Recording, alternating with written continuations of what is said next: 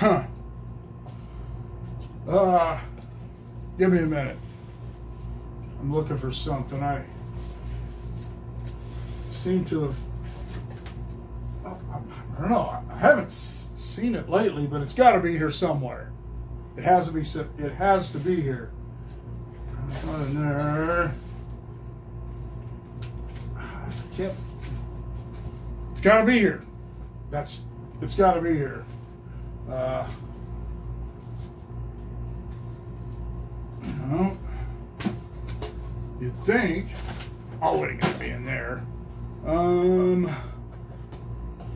No, it's not gonna be down there. That's guitar stuff, GoPro stuff, and a, some World War One history stuff. I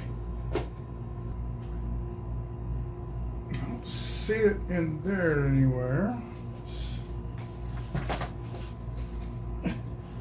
This is ridiculous.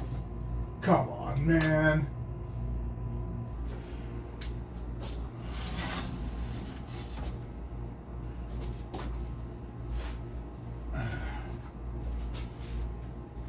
It's not up there.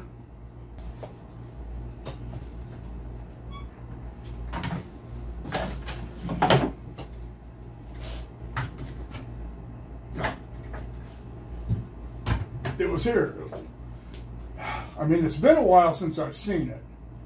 I will admit that. I don't know. I don't know.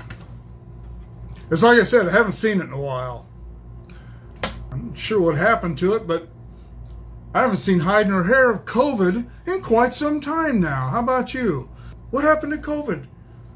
What happened to COVID? It was the biggest thing in the world about a year and a half ago. People were wearing masks. They're still wearing masks. People were locked in their homes. The economy crashed. Businesses went went out went belly up. People lost jobs. So many bad things happened because of COVID. It was the worst thing in the world. According to the government, especially the California government, it was going to be the biggest thing in the world for the next 15 years. But I haven't heard I nor of it lately. Why? Because it doesn't fit the, the, the liberal narrative anymore. They don't need that to scare people anymore. People are tired of it. They're not scared of it anymore. They see that things are being that are things are okay now. Uh, the CDC said, well, maybe the masks weren't such a, a necessity after all. Maybe the vaccines weren't such a necessity after all. Why?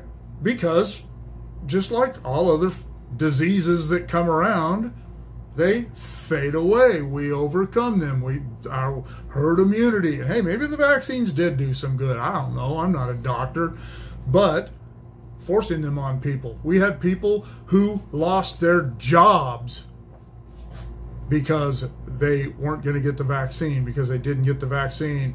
People who were going to lose their jobs until the companies like Union Pacific Railroad said, okay, never mind. Whoa, we're going to end up. Union Pacific, I talked to one of their executives uh, during all this, and he said they expected to lose over 30% of their workforce over the vaccines. Uh, companies can't sustain that. And uh, all the people who were, uh, it was just terrible. But where is it now?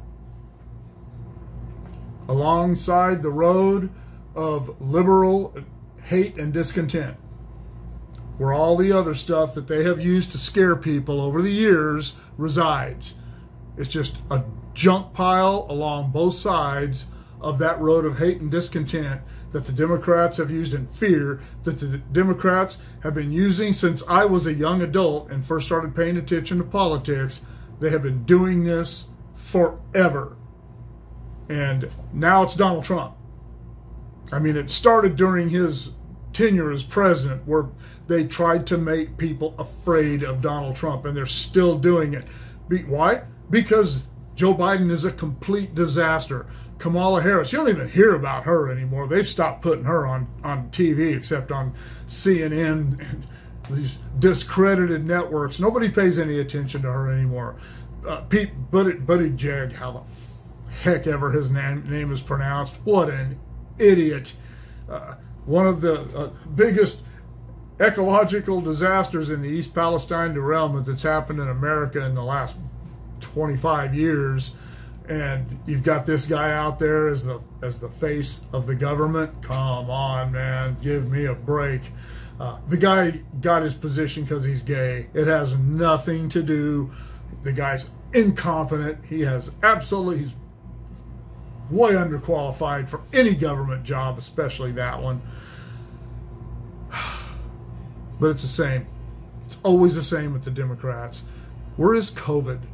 This, seriously, they made it sound like COVID was going to kill 100 million Americans. They didn't make it sound like that. That's what they said. That if we didn't do this and we didn't do this and we didn't do this, it would kill 100 million Americans. And uh, so, what was their answer?